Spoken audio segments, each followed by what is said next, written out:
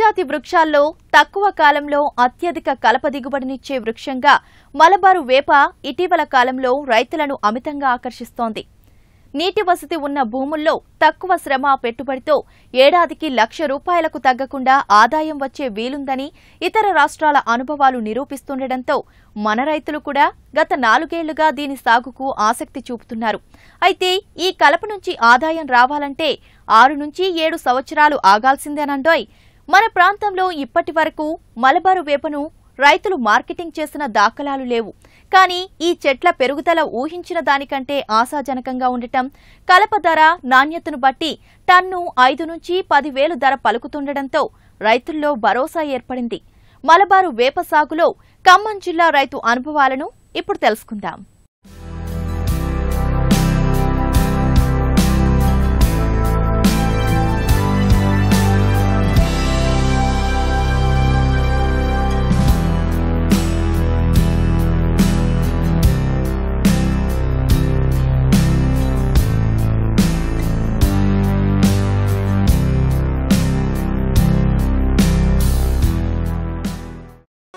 తెలుగు రాష్ట్రాల్లో సాగవుతున్న కల్పవృక్ష జాతుల్లో మలబారు వేపను ఒక సరికొత్త సంచలనంగా రైతులు చెబుతున్నారు.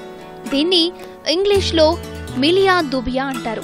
మిలియేసి కుటుంబానికి చెందిన ఈ వృక్షం సిలిండర్ ఆకృతిలో పొడవుగా నలభై అడుగుల ఎత్తు పెరుగుతుంది.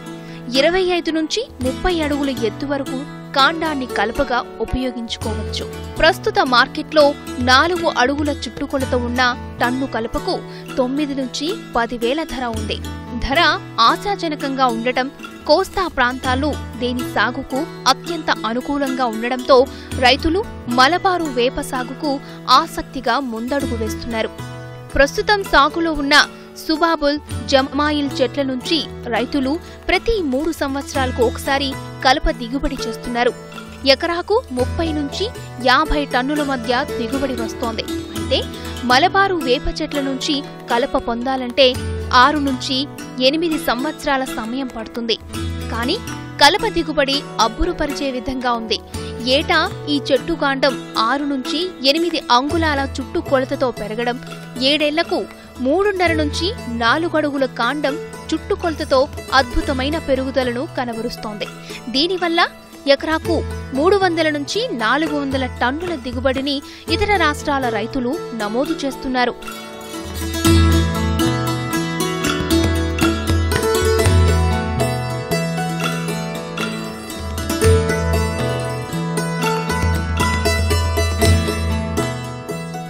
రెండడుగుల చుట్టుకోలతతో దృఢంగా పెరిగిన మలబారు వేప చెట్టును ఎక్స్ప్రెస్ టీవీ కెమెరాకు చూపిస్తున్న ఈ రైతు సుంకర రామ్మోహనరావు. ఖమ్మం రూరల్ మండలానికి చెందిన ఈయన ప్రభుత్వ సంస్థలో ఇంజనీరుగా రిటైర్ అయ్యారు. పదేళ్ళ క్రితం చింతకాని మండలం నాగులువంచ గ్రామంలో ఇరవై ఐదు ఎకరాల భూమిని కొనుగోలు చేసిన ఈయన పది ఎకరాల్లో నాలుగేళ్ళుగా మలబారు వేపను సాగు చేస్తున్నారు. చాళ్ళ మధ్య తొమ్మిది అడుగులు మొక్కల మధ్య ఏడడుగుల ఎడంతో ఎకరాకు ఆరు వందల తొంభై మొక్కలు వచ్చే విధంగా నాటారు. వీటి పెరుగుదల ఆశాజనకంగా ఉండడంతో గత ఏడాది మరో ఎకరంలో కొత్తగా ఈ మొక్కలు వేశారు. మలబారు వేప చెట్ల మధ్య శ్రీగంధ మొక్కలు నాటారు. శ్రీగంధం ఇతర మొక్కల వేర్ల నుంచి పోషకాలను గ్రహించి పెరిగే పంట. మలబారు వేపలో దీని పెరుగుదల కూడా ఆశాజనకంగా ఉంది.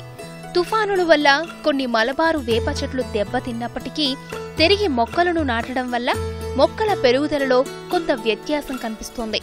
ప్రస్తుతం ఈ తోటలో ఒక్కో చెట్టు మూడు సంవత్సరాల పది నెలలకు అడుగున్నర నుంచి రెండు అడుగుల చుట్టు కొలతతో ఆశాజనకంగా కనిపిస్తోంది. ఫస్ట్ మేము ల్యాండ్ తీసుకున్నప్పుడు దీంట్లో జామాయిలు వేసామండి. వేసి ఈ టెన్ ఏకర్స్ జామాయిలు వేస్తే ఈల్డ్ ఆఫ్టర్ ఫోర్ ఇయర్స్ చాలా తక్కువ వచ్చింది మాకు. ఎందుకంటే కొంచెం వాటర్ ఎక్కువ అవటం చేయడం తుఫాన్లు రావటం దానివల్ల అనుకున్నంత ఇది రాలేదు మాకు. పర్ ఇయర్ ఫిఫ్టీన్ థౌజండ్ కూడా రాలేదు ప్రాఫిట్ కానీ దీంట్లోకి దాన్ని తీసేసి ఈ మన వేపలోకి మలబార్ వేపలోకి వెళ్ళాం. ఈ మలబార్ వేప ఇది వేసి ఇప్పుడు ఫోర్ ఇయర్స్ అయింది. లెవెల్లో ఏప్రిల్లో మేము దీన్ని స్టార్ట్ చేయడం దీనికి మాకు ప్రోత్సాహం ఇచ్చింది ఎవరంటే మా సుధాకర్ రెడ్డి గారిని కర్నూలులో ఒక రిటైర్డ్ ఎమ్మెల్యే ఆయన. ఆయన నర్సరీ చేసి మాకు ఇది చేసి అంత ఎక్స్ప్లెయిన్ చేసి ఈ ప్లాంట్ ప్లాంట్ సప్లై చేశారు నర్సరీ నుంచి. మేము తీసుకొచ్చి వాడికి కావాల్సిన ఏర్పాట్లు చేసి ఆ ప్లాంట్ చేయడం జరిగింది. ప్లాంట్ చేసి వాళ్ళకి దాదాపు ఫోర్ ఇయర్స్ అయింది. దీని మా ఎక్స్పెక్టేషన్ ఏంటంటే వారు చెప్పింది ఏంటంటే ఆ రోజుల్లో దీని బై బ్యాక్ కానీ డెవలప్మెంట్ ఏంటంటే మెయిన్ సంవత్సరానికి ఇది ఒక టూ ఇంచెస్ గత్తు డయామీటర్ పెరుగుతుంది. సెవెన్ ఇయర్స్కి వచ్చేప్పటికి ఫోర్టీన్ ఇంచెస్ అవుతుంది ఫోర్టీన్ ఇంచెస్ అంటే ఫార్టీ ఇంచెస్ గత్త అవుతుందండి అది హైట్ థర్టీ ఫీట్ మీద ఫస్ట్ ఇయర్కే ట్వంటీ ఫైవ్ ఫీట్ వచ్చేస్తుంది. అక్కడ హెడ్ కట్ చేసేస్తాం. చేస్తే ఇక remaining portion will be developed ఇది మంచిగా గత్తోను పైన కూడా డెవలప్ అయ్యి ఒక ఐదు వందల నుంచి ఆరు వందల కిలోలు చెట్టుకి వెయిట్ వస్తుంది. అది మనకి దీని బైబ్యాక్ అగ్రిమెంట్ కూడా భవిష్యత్తులో ఫర్నిచర్ కానివ్వండి అగ్గిపుల్లలు కానివ్వండి చెంచాలు కానివ్వండి ప్లైవుడ్స్ కానివ్వండి ఇంకా లైట్ వుడ్ కాబట్టి అన్నిటికీ పనికి వస్తుంది. ఏది యూసెస్ కింద. ఇక దీనికి ఎక్స్పెన్సెస్ అంటారా? ఫస్ట్ ఇయర్కి వచ్చేపాటికి ప్లాంట్ ప్లాంట్స్ కావచ్చు మన పిట్టింగ్ అగ్రికల్చర్ ప్రిపరేషన్ ఇవన్నీ కలిపి పర్ ఏకర్ ఒక యాభై వేలు అవుతుందండి. ఇది మేము nine feet by seven feet సైజులో వేసాం. అంటే సిక్స్ నైంటీ పర్ ఏకర్ అవుతాయి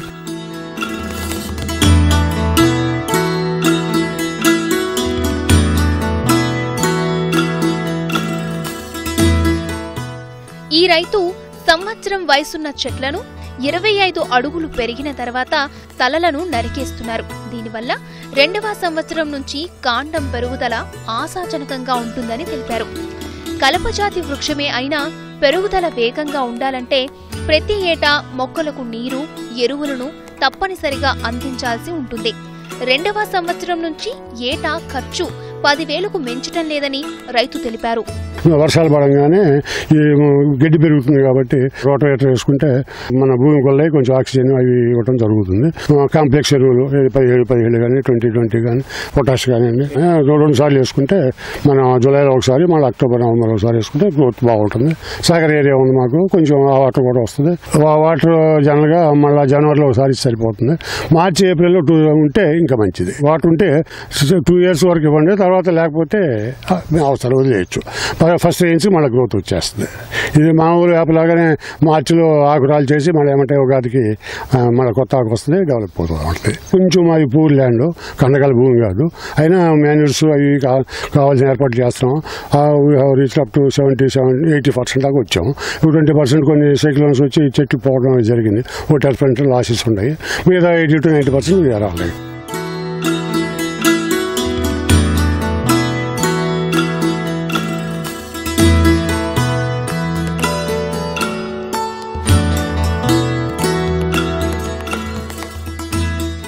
రైతు తోటలో మలబారు వేప చెట్లు ఏటా అర అడుగుకు పైగా కాండం చుట్టు కొలతలో పెరుగుదలను నమోదు చేస్తున్నాయి. అంటే ఇంచుమించుగా ఆరంగుళాల కాండం వైశాల్యం పెరుగుతోంది. ప్రస్తుతం అడుగున్నర నుంచి రెండు అడుగుల కాండం చుట్టుకొలత ఉన్న ఈ చెట్లు మరో మూడేళ్ళలో కాండం వైశాల్యం మూడున్నర అడుగులకు చేరే అవకాశముందని రైతు తెలిపారు. మార్కెటింగ్ చేసేందుకు ఈ దశ సరిపోతుందని ప్రస్తుతం వివిధ ప్రైవేటు కంపెనీలు ఈ కలప కొనుగోలుకు ముందుకొస్తుండటంతో ఈ కలపజాతి వృక్షం సాగు అత్యంత ఆశాజనకంగా ఉందంటున్నారు. దీని ఎక్స్పెక్టేషన్ మరి per year one lakh to one and half lakh రావచ్చని మా ఎక్స్పెక్టేషన్ ఒక టెన్ ల్యాక్స్ సెవెన్ ఇయర్స్ మిగులుతాయని పర్ ఏకర్కి అన్ని ఎక్స్పెక్ట్ పోగా అది. మన వెయిట్ ఎట్లా ఉందంటే వాడు ఆ రోజు మేము వేసినప్పుడు నాలుగు వేలు ఐదు వేల రూపాయలు రేటు ఉంది. అయితే ఇప్పుడు వచ్చేపడి nine to ten thousand rupees అని వార్తలు ఉన్నాయి. నా తర్వాత చాలామంది మీకు ఖమ్మం జిల్లాలో వేయటం జరిగింది. అందరూ two years one year three years వాడుకున్నారు మేము చే- రేపు నవంబర్ ఫస్ట్కి ఫోర్ ఇయర్స్ కంప్లీట్ అయిపోతుంది అది ఇంకా త్రీ ఇయర్స్ అయితే కటింగ్ గిటింగ్ ఇక దాన్ని బైబ్యాక్ అగ్రిమెంట్ చేసుకోవడం జరుగుతుంది. ఒక సెవెన్ ఇయర్స్కి ఫస్ట్ కటింగ్ రావుతుంది తర్వాత కటింగ్ అయినాక మళ్ళా తర్వాత కూడా మళ్ళీ సిక్స్ ఇయర్స్కి ఫైవ్ ఇయర్స్ మళ్ళీ కటింగ్ వస్తుంది. అట్లా దీన్ని కంటిన్యూస్ జమ అయ్యేలాగా కంటిన్యూ చేయొచ్చు. శాస్త్రీయంగా అంచనాలు రైతుల అనుభవాల ప్రకారం మలబారు వేప చెట్లను పది పది అడుగుల ఎడంతో ఎకరాకు నాలుగు వందల యాభై మొక్కలు చొప్పున నాటితే వీటి పెరుగుదల వేగంగా ఉంటుంది. ఆరు నుంచి ఏడు సంవత్సరాలకు నాలుగు అడుగుల వైశాల్యంతో చెట్లు మంచి కలప దిగుబడినిస్తాయి కానీ రైతు సుంకర రామ్మోహనరావు ఎకరాకు ఆరు వందల తొంభై మొక్కల చొప్పున నాటడం వల్ల చెట్ల పెరుగుదల కొంత తగ్గింది. అయినా దిగుబడిలో వ్యత్యాసం వచ్చే అవకాశం లేదు. కానీ నాలుగడుగుల కాండపు వైశాల్యమున్న కలుపుకు ప్రస్తుతం టన్నుకు పదివేలకు పైగా ధర ఉంది. ఈ లెక్కన ఎకరాకు ఆదాయం ఈ కలపజాతి పంటలో ఊహించని స్థాయిలో ఉంది.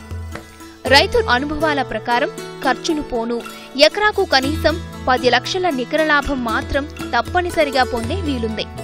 మలబారు వేపకు తోడు తెలివిగా శ్రీగంధం మొక్కలను నాటిన విధానం దీర్ఘకాలంలో ఆర్థికంగా వనకూరే ప్రయోజనాల పట్ల రైతు రామ్మోహనరావుకు ఉన్న ముందుచూపుకు నిదర్శనం.